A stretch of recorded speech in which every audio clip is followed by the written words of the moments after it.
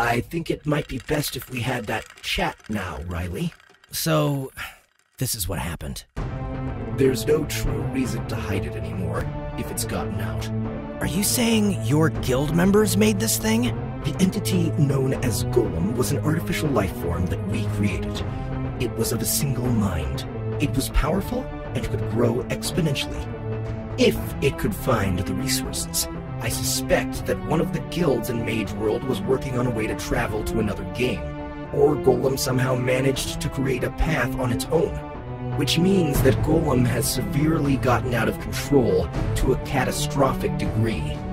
This thing could try and take over Sigil Online? It would be more powerful than all the guilds combined. So, let's make sure that doesn't happen. I look forward to testing the mettle of these creatures.